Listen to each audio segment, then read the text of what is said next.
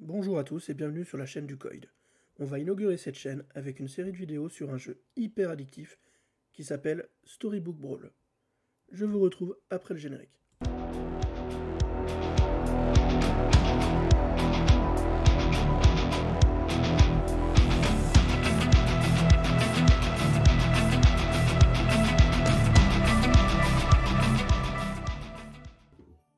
Bonjour à tous. Alors aujourd'hui on va parler de Storybook Brawl. Donc le jeu est disponible sur Steam. Il est gratuit, il est en accès anticipé jusqu'à la fin d'année.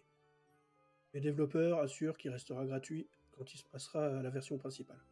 Donc quand vous lancez le jeu sur Steam, vous arrivez sur cet écran. Ici vous avez donc votre grade, qui est en fonction de vos classements dans les brawls. Ici vous avez la poussière de fée qui vous permet de débloquer des héros. Ici vous avez la monnaie payante du jeu, en effet il y en a une, mais vous verrez elle est absolument pas déterminante. Et là, donc, vous avez les couronnes, euh, qui sont les récompenses que vous obtenez quand vous finissez premier sur les brawls. Ensuite, donc, vous avez deux modes de jeu. Vous avez le mode brawl contre d'autres joueurs et vous avez le practice contre des bots. On commencera par un practice pour que je vous explique un petit peu plus euh, les détails du jeu. Ici, vous avez la collection qui vous permet de voir euh, à peu près tout ce qui est dans le jeu, c'est-à-dire les héros, les créatures que vous posez sur le terrain de jeu, les trésors qui vont vous aider à booster vos créatures et les sorts qui ont à peu près la même utilité mais qui n'interagissent qu'un seul tour.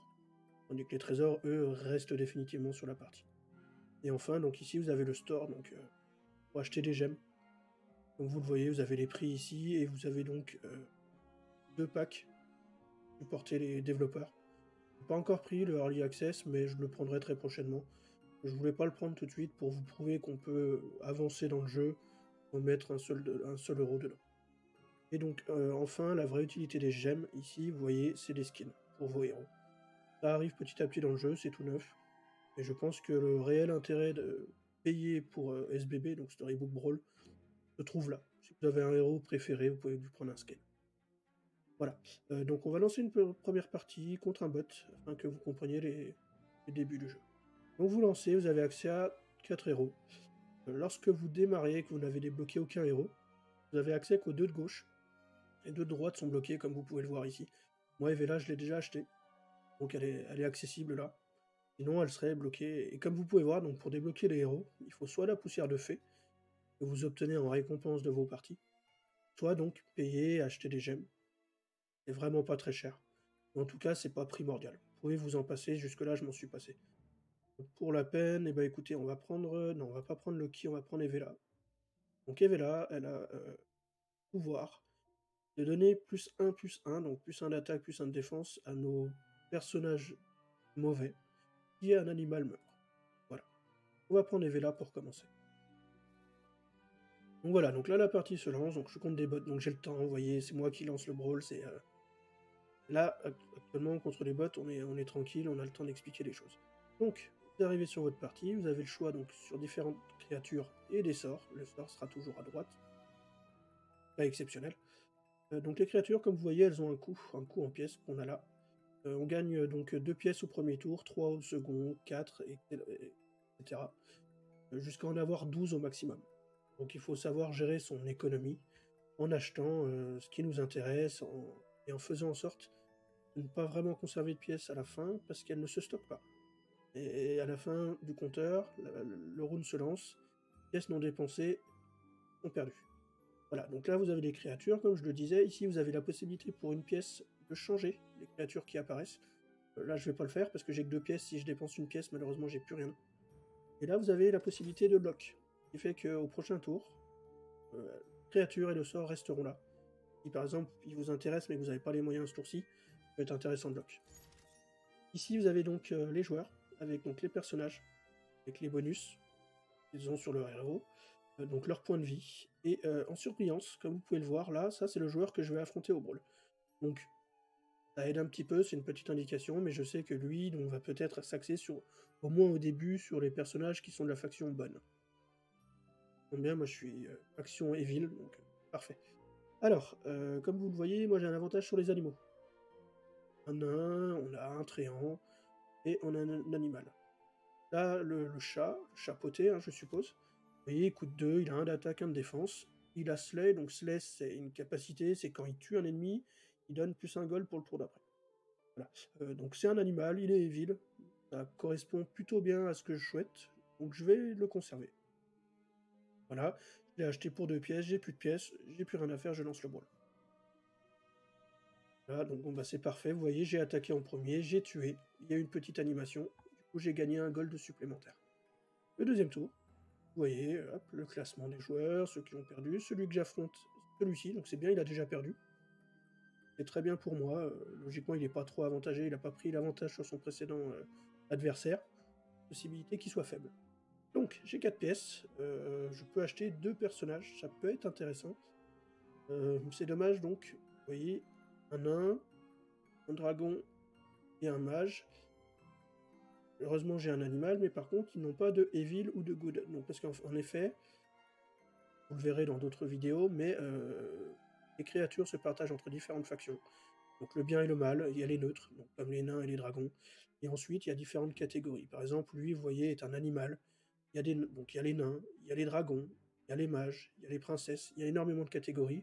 Et donc, chaque créature aura une interaction avec une autre, plus ou moins bonne, plus ou moins efficace. Le but, c'est d'essayer de trouver les meilleures interactions. Euh, là, ce qui peut être intéressant, du coup, je vais prendre le dragon. Donc le dragon, comme vous voyez, il a vol. Ça veut dire qu'il va taper la ligne arrière de l'ennemi. Donc c'est celle qui est souvent un peu plus faible, mais qui donne des bonus à la ligne avant. Et je vais prendre ce petit chat, parce que ce petit chat, il dit que quand je casse un spell, un sort, il gagne plus 1, plus 1 de manière permanente. C'est intéressant. Hop, je vais prendre celui-ci, ce sort, il coûte 0. Il m'a permis de reset mon marché. Lui, il a gagné plus 1, plus 1. Je vais stocker parce que j'aime bien du tout. Je l'aime bien, lui. Euh, vous voyez, j'en ai déjà un. Là, il clignote un petit peu, parce que ça veut dire que j'en ai déjà un. Si on arrive à avoir trois exemplaires de la même créature, on obtient un trésor du niveau correspondant. Vous voyez, elle, coûte 2 pièces, donc elle est niveau 2. Si je la triple, j'obtiens un trésor de niveau 2. Sachant que les trésors niveau 2 sont bien, mais plus on monte dans les niveaux de trésors, plus, euh, plus ils sont pétés. Voilà, donc bah, je vais lancer le second brawl en gardant une option sur lui. on affronte le géant. Les matchs nuls, personne perd de points de vie. C'est pas perdu, c'est déjà l'important. Donc, vous voyez, il est resté, je vais le conserver. Là, l'avantage avec le héros, c'est que c'est un animal et il est vil. ça veut dire que quand un de mes deux exemplaires va mourir, l'autre va gagner plus 1 plus 1. Donc, c'est intéressant, je vais le mettre derrière. Il gagne assurément le 1 plus 1 plus 1. Il me reste deux pièces. Je vais utiliser ce sort. Et hop, tiens, un perso bonus. Heureusement, lui, il a une interaction avec les personnages good. Pas trop parti sur good. C'est pas grave. Il dépannera toujours. Je vais même le mettre là. La bataille s'enclenche, vous voyez, il a tapé derrière. Ça tue, ça tue, ça tue. Lui, il tue, ça c'est parfait. Vous voyez, j'ai gagné un gold. Voilà. J'ai gagné un gold supplémentaire, ça me donne un petit avantage sur les autres. Pièce sur les 5. Alors, euh, qu'est-ce qu'on peut bien choisir cette fois-ci? Vous voyez, c'est assez compliqué. Euh, allez, je vais reset. J'aimerais bien trouver... Ah. J'ai un double pour le dragon. Euh, allez, le diable. On va prendre le dragon. On va reset encore un coup. Et ah, parfait. Vous voyez, les trois exemplaires du dragon. Déjà, il s'est amélioré, donc il a gagné en puissance. Et il m'offre un trésor niveau 2. Alors, qu'est-ce que je vais choisir? Allez, on va prendre celui-ci. Il me donnera 3 de vie, 3 de gold. Va disparaître vite, mais il va me donner un avantage certain la prochaine fois que je vais perdre un round. Ensuite, donc on est parti sur du bad. Donc, euh, rien faire, j'ai plus de pièces, je vais quand même faire ça. Lui gagne plus 1 plus 1, c'est toujours ça de prix. Il n'y a rien qui m'intéresse, on lance le ball. La partie se lance, lui a utilisé un sort qui m'a fait bien bien mal. Ah, mon petit dragon, il a fait le taf. Bon. Pareil, compliqué, je vais perdre. Ah, ça sur lui. Au moins, j'aurais gagné une pièce, c'est déjà bien. J'ai perdu le round. Mon trésor a disparu, il me donne plus 3 pièces et 3 points de vie. Voyez, j'ai 10 pièces, donc là c'est un bon début quand même. Alors, euh, là j'ai un support, là j'ai un support juste pour le Evil. Alors, étant donné que je veux jouer le Evil, m'intéresse plutôt. Et hop là, on booste son personnage. Ensuite, Euh, allez, je vais prendre lui parce qu'il donne de la vie. La vie, c'est bien. Ensuite, euh, bah écoutez, beaucoup de pièces. Alors pour pas, je vais utiliser ce sort parce qu'au début, il est extrêmement bien. Et il me reste deux pièces, j'aimerais éviter de les perdre. Je vais prendre celui-là. Lui, il donne plus un d'attaque à mes personnages mauvais.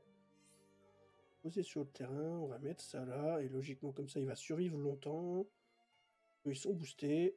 Et ils vont donner des pièces d'or normalement. On va lancer.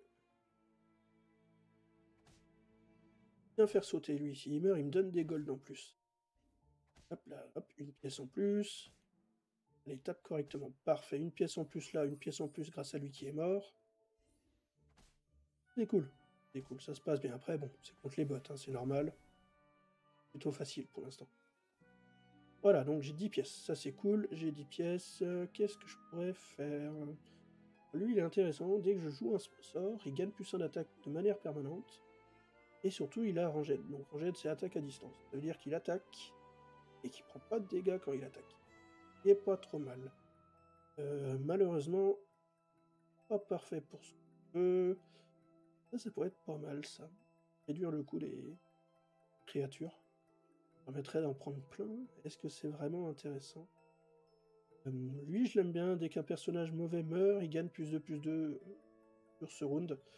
Étant que je vise plus ou moins les personnages mauvais, euh, pas trop mal.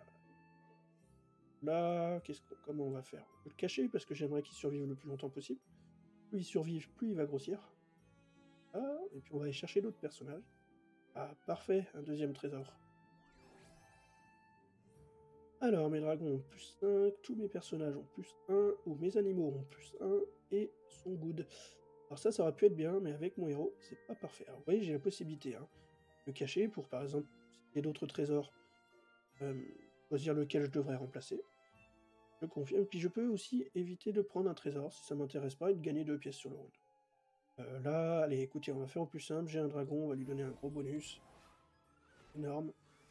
Et ce sort qui va donner 2 dégâts sur la ligne avant.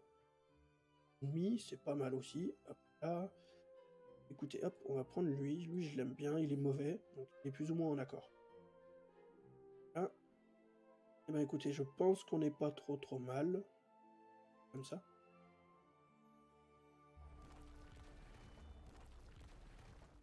Voilà, j'ai fait un sacré nettoyage. vous voyez, j'ai un personnage qui est mort, lui qui a grossi un petit peu. Là, lui, quand il tue, il gagne plus 1, plus 1, donc il, va, il peut devenir assez énorme. Tout se passe plutôt bien. Voilà, je vous en montre pas plus sur la game contre le bot, c'est pas forcément très intéressant. Je voulais vous expliquer un petit peu les bases du jeu. J'espère euh, y être arrivé, à peu près. Je vous ferai d'autres vidéos sur Storybook Brawl, parce que c'est un jeu vraiment très addictif qui me, énormément. Euh, la prochaine vidéo sera une simple game contre un groupe de joueurs. Vous verrez euh, légère différence qu'il y a sur le jeu. Et ensuite, euh, donc j'espère vous faire une vidéo sur les héros à débloquer le plus rapidement possible. Comme vous avez pu le voir, on peut les débloquer avec la poussière de fée ou en payant. Il me semble que certains héros sont à privilégier sur d'autres. Voilà, je vous remercie. laissez un pouce bleu ou rouge, comme vous le souhaitez. Et je vous dis à très bientôt. Au revoir.